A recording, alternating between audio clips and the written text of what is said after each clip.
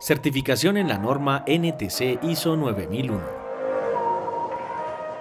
La norma NTC ISO 9001-2015 es un estándar internacional creado por el Comité Técnico 176. Tiene como objetivo principal lograr que las organizaciones públicas y privadas de cualquier sector y actividad económica mejoren sus procesos con el fin de elaborar bienes y prestar servicios de mejor calidad, cumpliendo con los requisitos del cliente, superando sus expectativas.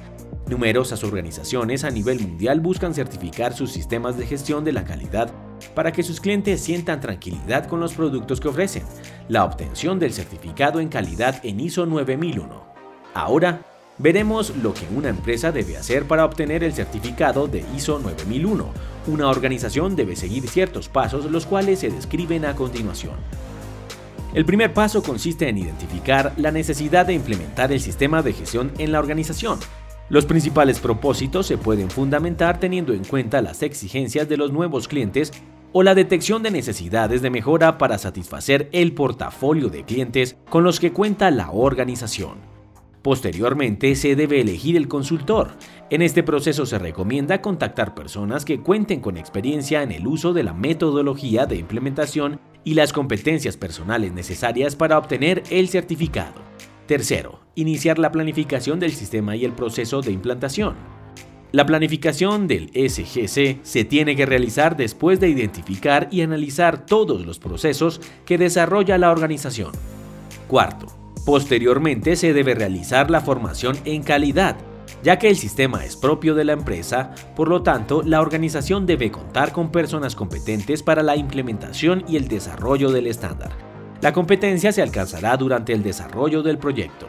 Quinto, elaborar la documentación del SGC, pues es el soporte de los procesos y permite contribuir con la eficiencia de estos. Sexto, a través de la elaboración de los documentos se han definido los procesos. Ahora se deben poner en funcionamiento y realizar las tareas que exige la norma ISO 9001. Séptimo, realizar la auditoría interna como requisito primordial de la norma ISO 9001 durante esta se comprueba el grado de cumplimiento de todos los requisitos.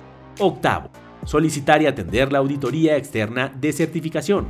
Una vez se haya comprobado que el sistema de gestión de la calidad funciona de forma correcta y se ha implementado de manera eficaz. Noveno, una vez superada la etapa anterior se puede solicitar a la entidad certificadora la emisión del certificado de calidad. El certificado se recibe por un periodo de tres años, durante cada uno de los dos primeros años se debe llevar a cabo auditorías de seguimiento y al final del tercer año, si la organización decide mantener el certificado, debe solicitar una auditoría de recertificación.